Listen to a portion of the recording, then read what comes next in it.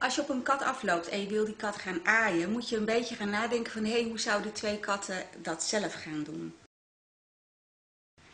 Een kat, als je daarop afremt en je wil hem op gaan pakken, uh, dat vindt een kat niet fijn. Je moet het een beetje vergelijken met dat uh, er komt een gorilla van drie meter naar jou toe rennen.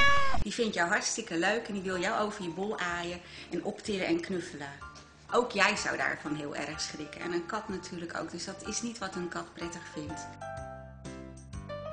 Aaien is iets menselijks. Dat is niet iets wat katten doen.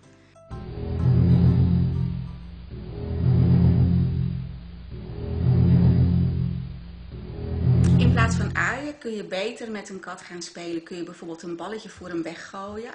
En wat heel veel kinderen doen, en wat helemaal niet eigenlijk de beste manier is, dat kinderen gaan het balletje laten zien aan de kat. En het dan zo schudden en dan verwachten dat die kat dat leuk vindt. Dus zo zit de kat in elkaar. Het balletje moet van de kat af, zodat die kat denkt van hé, hey, er gaat iets weg. En dan wordt zijn jachtinstinct gestimuleerd.